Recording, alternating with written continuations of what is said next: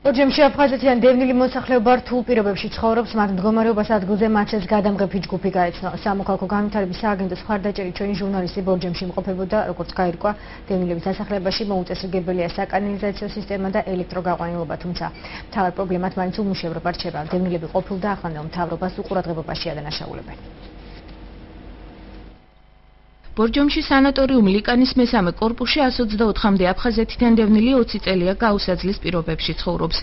დევნილები აცხადებენ, რომ სამუშაო არ აქვთ. თავის რჩენის ერთადერთი წყარო პენსია ან სახელმწიფოს მხრიდან დანიშნული 22 ლარიანი შემწეობა.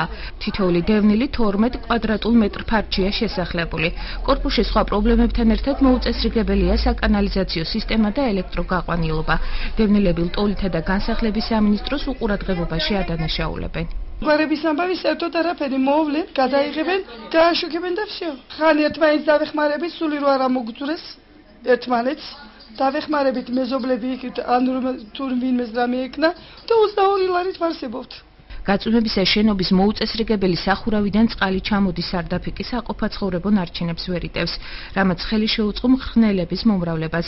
ფართების სიმცირის გამო რამდენიმე ოჯახი კორპუსის აივანზე მოწყობილ ფიცრულში ცხოვრობს. ე რაც იყო კრაუტები და ყველაფერი სულ გაყიდეს და მიცეს ხახი აი ხო ხოდა რა წევა საგორეში ოზაჩის ბიჭო და ერთ ოთახიაში ვარ იმა ერთ კრაუტზე ვარ საწოლებიჭი დასალევი წყალი ჩვენ არა გვაქვს ალახიან წყალსო ხანა წვიმარვა იქნება. არავითარი დახმარება ჩვენ ეს არ არის არაფერი არა არ კეთება ჩვენ გარემოდონ დაგვიკანონონ ან რაღაცა გააკეთონ საცხმაგიდებულება მოდიან პანამა ის არჩევნები რო იქნება არც ცნოს არ მიცე სანატორიუმი ლიკანი მიმდინარე წლის დასაწყისში შეპესე რაიმონდზე გასხვეს და ინვესტორს აღნიშნული корпуსის რეაბილიტაცია უნდა დაეწყო და დევნილები შესაბამისი ფართით უნდა დაეკმაყოფილებინა, თუმცა საკითხი ამ ეტაპზე შეჩერებულია. სანატორიუმის დირექტორის მოადგილე ჩვენთან საუბრისას აცხადებს, რომ დევნილთა და განსახლების სამინისტროს პრობლემის მოგვარებისთვის არაერთხელ მიმართა, თუმცა უშედეგოდ. ჯერ მიწერეთ ამ სამინისტროს წერილებით, რომ ეს პრობლემა აქვს, ეს პრობლემა აქვს. მაგრამ არავინ არ იყო არც მაშინ ყურად და არც ახლა და ასე. პრეტენზიები მე მესმის ამათ, მაგრამ მე რა შუეში წლის ბოლომდე ხაშურსა და ბორჯომში რეაბილიტირებულ შენობებში აფხაზეთიდან დევნილ მოსახლეობას საცხოვრებელი ფართები გადაეცემა.